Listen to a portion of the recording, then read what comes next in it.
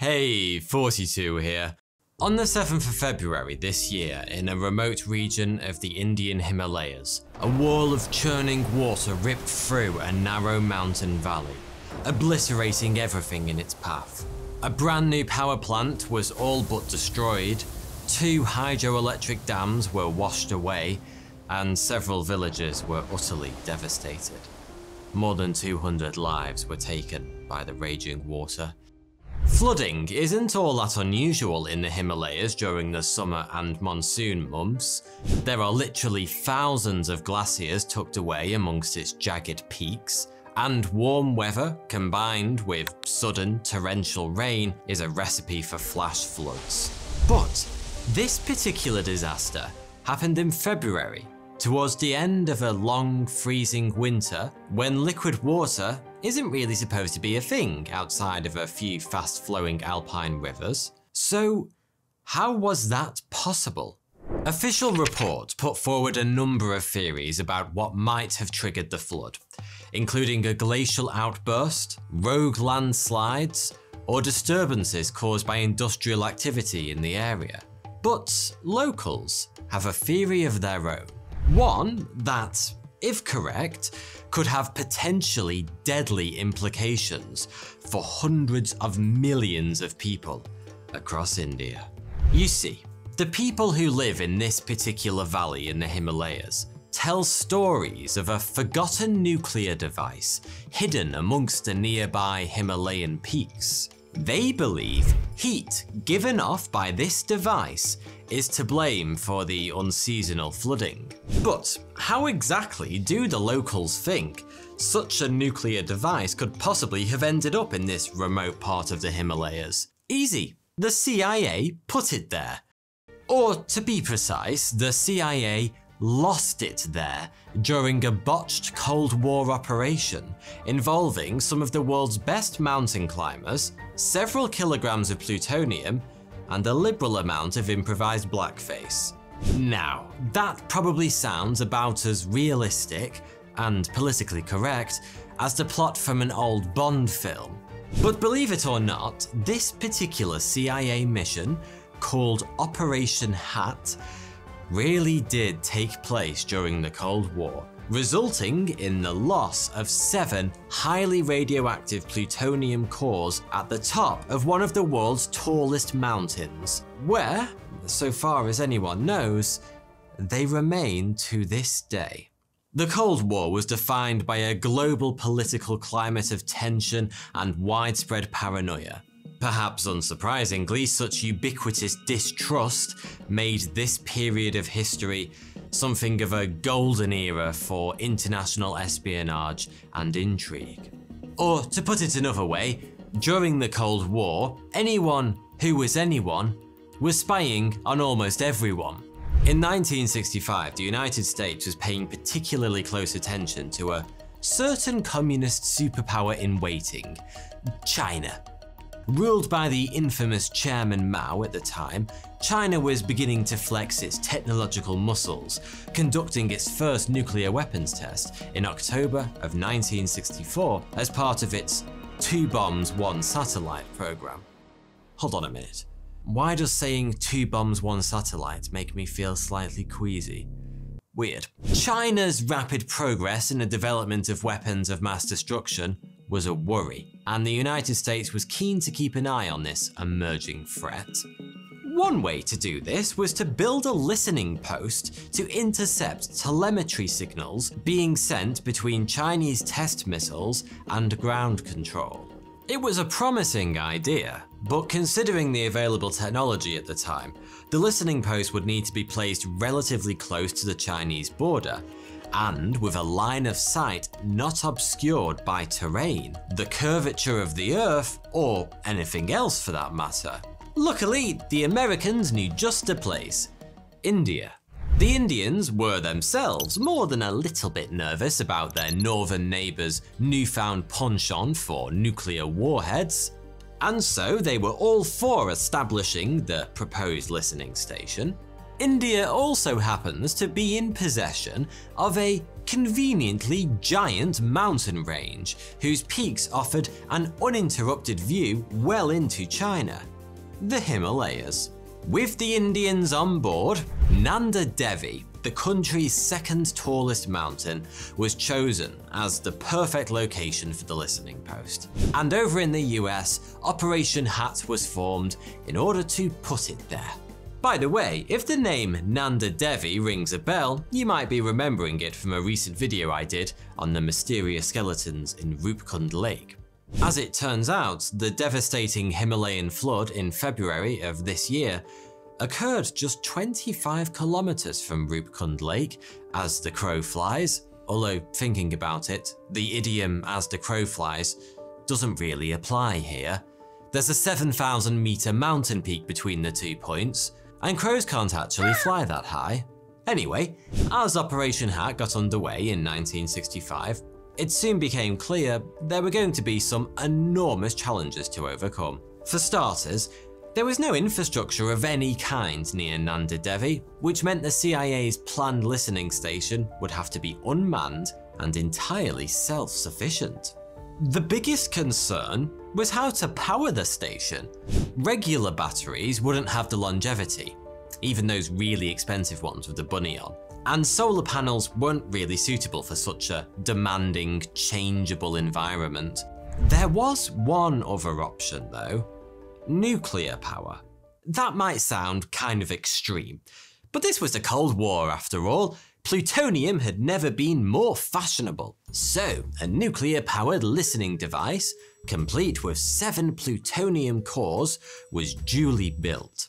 All that was left was to put it on top of Nanda Devi. But that turned out to be a lot easier said than done. The Himalayas are known as the roof of the world for good reason. They're really bloody big. And whilst flying the device to the top of the mountain seemed the obvious choice, it simply wasn't possible. As well as being obscenely tall, Nanda Devi is one of the steepest mountains on Earth. Landing on it just wasn't going to be an option. And that meant there was only one thing for it the CIA were going to have to carry the 60 kilogram listening device up the 7,800 meter peak the old fashioned way, by literally carrying it. Nanda Devi is surrounded on all sides by some of the world's tallest mountains, including 12 peaks of 6,500 meters or so. That's the equivalent of 17 Empire State Buildings piled on top of each other. This ring of mountains creates a kind of natural shield wall around Nanda Devi that's all but impenetrable. Think of it like Mordor, except the wall of mountains doesn't hide an army of orcs, and the giant eye showing all the symptoms of a nasty case of conjunctivitis, but a pristine wilderness called the Sanctuary that's entirely cut off from the outside world. The sanctuary is so remote and the terrain around it is so challenging that it took explorers almost 100 years to figure out how to get inside. And when it was finally breached by two British men and their three Sherpa companions in 1934, they declared the journey to be more challenging than reaching the North Pole. And you have to go through all of that just to get to the base of Nanda Devi, which rises another 3,000 meters above the sanctuary. Climbing Nanda Devi was a task so difficult that there weren't all that many people on the entire planet with the necessary skills, experience, and giant steel balls required to even attempt it. And, inconveniently enough, none of them happened to work for the CIA. So the bigwigs at Langley did the only thing they could do under the circumstances. They started covertly recruiting the Alpine equivalent of the Justice League, a crack team of the most gifted mountaineers of their generation, made up of 14 men from the US and 4 from India. Between them, these men boasted all sorts of climbing records and first ascents of the world's deadliest peaks, but as talented as they were, none of them had all that much experience dealing with plutonium. which meant one of their number, Jim McCarthy, who had a few years earlier become the first climber ever to be featured on the front cover of Sports Illustrated, was given a crash course in the safe handling of highly radioactive material. Imagine Alex Honnold, star of the film Free Solo, being given nuclear training in order to carry out a top secret mission for the American government in a part of the world only accessible to a god level climber, and you've pretty much got your head around the sheer craziness that was Operation Hat. Incidentally, Jim McCarthy would go on to develop testicular cancer in later life, something he believed was caused by exposure to the plutonium radiation during this mad mission. But back in 1965, McCarthy, his potentially irradiated balls, and the rest of the Justice League of Climbers were on their way to Nanda Devi's base camp in helicopters.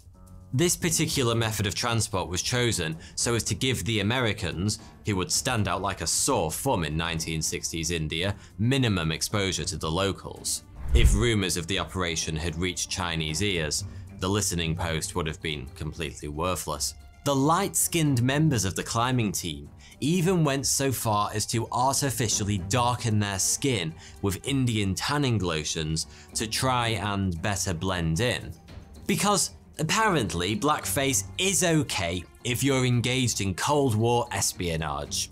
A team of pausers was hired to lug the equipment, including the nuclear-powered listening device, up to base camp and a vague story about a stash of gold was concocted by CIA representatives to explain the presence of a certain incongruous 60 kilogram solid lead box stashed away amongst the food and crampons.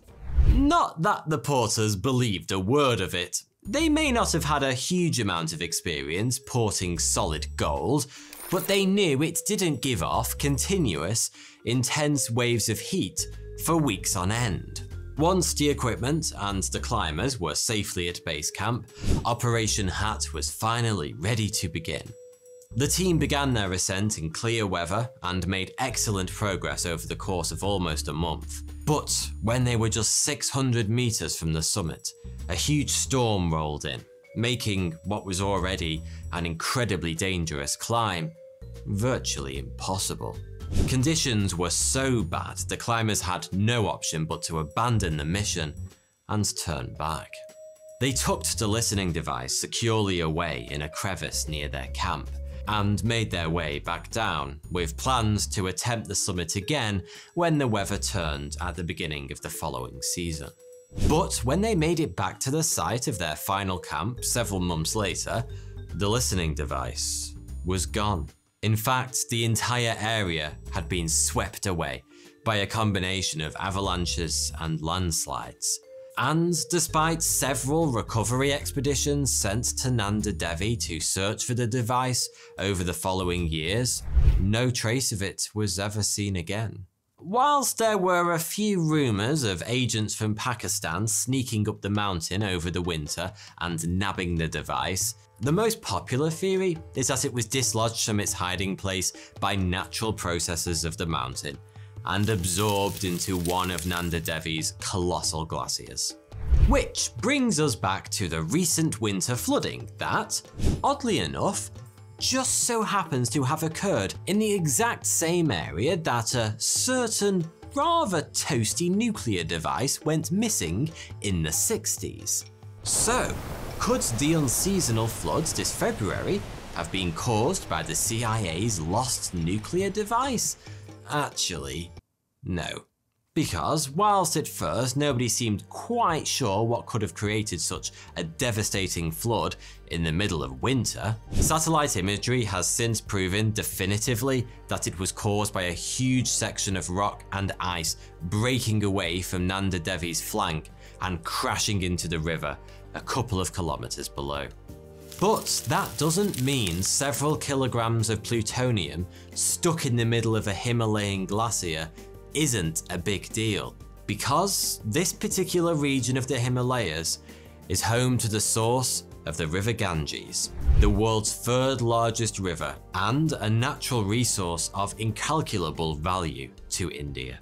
Considered sacred to Hindus, the Ganges supports the most heavily populated river basin of any river in the world, with over 650 million people living within its reach. If the lost nuclear device of Nanda Devi was ever to blow its radioactive load into the headwaters of the Ganges, it could cause an environmental disaster on an apocalyptic scale. So, whilst the fate of the lost nuclear device of Nanda Devi remains unknown almost 60 years after the CIA somehow managed to lose it, let's just hope it stays that way. Thanks for watching.